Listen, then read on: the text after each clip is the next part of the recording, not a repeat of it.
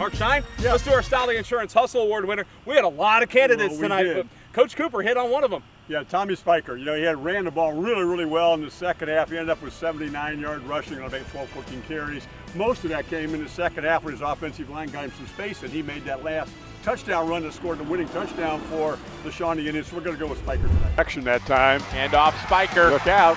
Down Good to the cut. 15, Whoa, cuts inside. Touchdown, Shawnee. Wonderful run by Spyker on a good play call.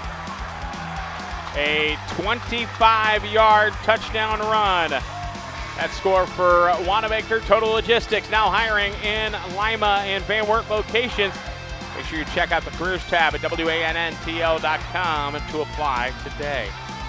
Watch this again. He gets the edge right here with a good block, and then this cut right here and makes a man miss and sprints into the end zone.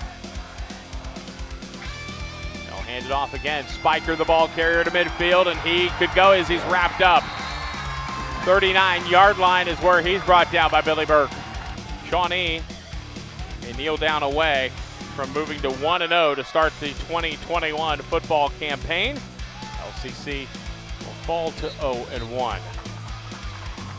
That kneel down should do it, and it will here at Shawnee Stadium. Your final score on the Web Insurance scoreboard Shawnee 20, LCC 13th, the 31st meeting and the first time since 1986 goes to the Shawnee Indians.